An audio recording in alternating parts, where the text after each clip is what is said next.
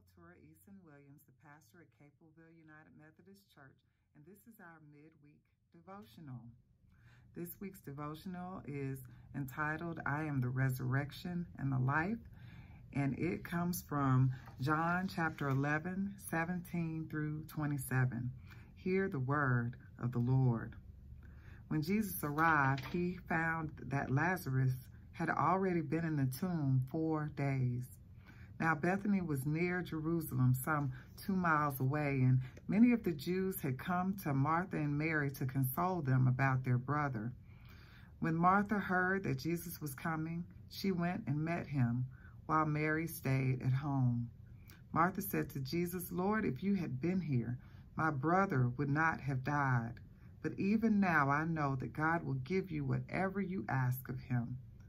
Jesus said to her, your brother will rise again. Martha said to him, I know that he will rise again in the resurrection on the last day. Jesus said to her, I am the resurrection and the life. Those who believe in me, even though they die, will live. And everyone who lives and believes in me will never die. Do you believe this? She said to him, Yes. Yes, Lord, I believe that you are the Messiah, the Son of God, the one coming into the world. This is the word of God for we, the people of God. Thanks be to God. Let us pray.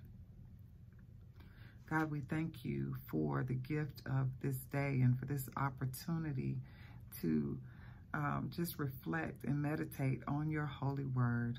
God, we just ask that you remake us, reform us, reshape us in your image that we might be able to go out into the world to help make disciples of Jesus the Christ.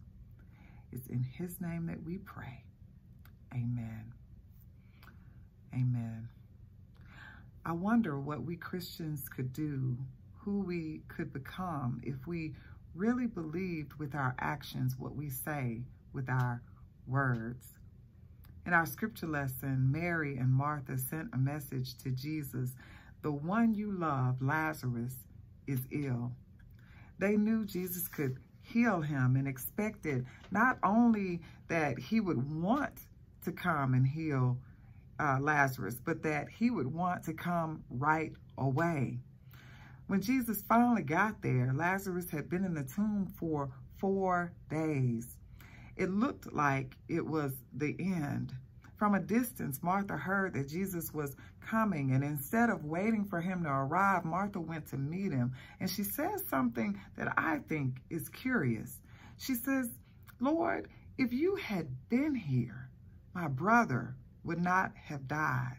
Now, I find that curious because Martha must have known that everything and everybody that is created will die. She knows this, but She's in mourning. She's in grief. Grief is about how I feel, what I've suffered, and what I've lost.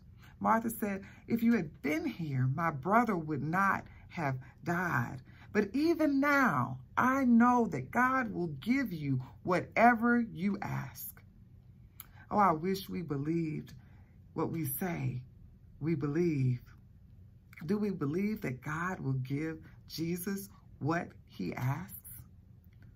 On the night in which Jesus gave himself up for us, surrounded by folks who would soon deny him, one who would even betray him, Jesus served his disciples bread and wine, which would become symbols of the forgiveness of sins. Jesus does this knowing exactly who each one of them is. Even the one who would sell him out for a few pieces of silver and they all get served the same meal of reconciliation. Not only that, Jesus, while he was pinned and bleeding on a cross, spat upon, cursed, abused, looked at the faces of his oppressors and prayed, Father, forgive them, for they know not what they are doing. Jesus extends the gift of forgiveness for those who would murder him, even while his physical body is being broken and his blood is being spilled. I wish we believed what we say we believe. We say we believe in a love that is far greater than our own capacity to love, a love that is always calling us to do more and to be more by his grace than we can ever imagine, ask, or think. Jesus says to Martha, I am the resurrection and the life. Those who believe in me, even though they die will live, and everyone who believes in me will never die. Do you believe? Martha says, Yes, yes, Lord, I believe. You know the rest of the story. Lazarus is literally raised from the dead. Now, when I was a teenager, there was a late night show called The Arsenio Hall Show. The Arsenio Hall show featured a segment called Things That Make You Go, hmm. Lazarus is physically raised from the dead after four days. Why? He will only have to die again. The people gathered will have to mourn and cry again someday. Hmm. Verse 4 says that when Jesus heard that Lazarus was sick, he said, this illness does not lead to death. Rather, it is for God's glory, so that the Son of God may be glorified through it. Hmm. A story is told of a, a Japanese criminal named Tokichi Ishii, who had piteous, pitilessly and brutally murdered men, women, and children. While he was in prison awaiting death, he was visited by two Canadian women who tried to talk to him through the prison bars. He glowered at them like a savage animal, and finally they just abandoned attempts to reach him.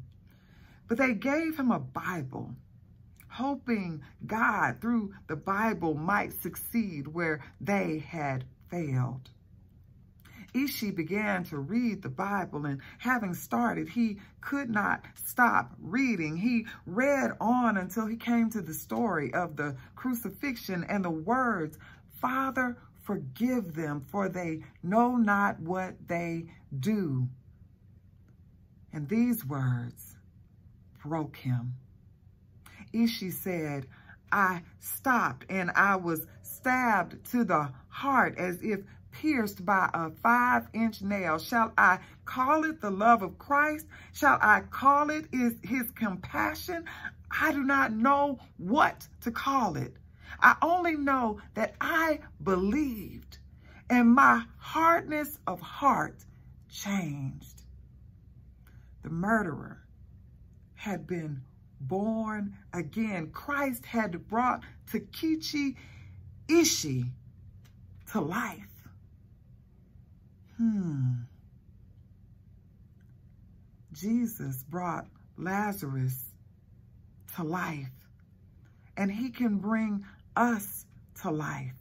We who have become so selfish, so privileged that we are dead to the needs of other folks. Jesus can transform us into people who serve with joy and with thanksgiving.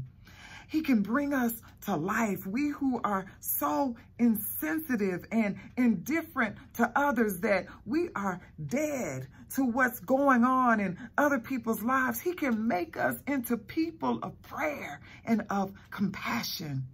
He can bring us to life. We who are dead to honor and those of us who dabble in disloyalty and dishonesty, he can make us into those who live and worship in spirit and in truth. He can bring us to life and mount us on wings as eagles, that we may run and not get weary, that we might walk and not faint. Jesus can resurrect all of us, even now. Do you believe? In the name of the Father, and of the Son, and of the Holy Spirit. Amen. Amen.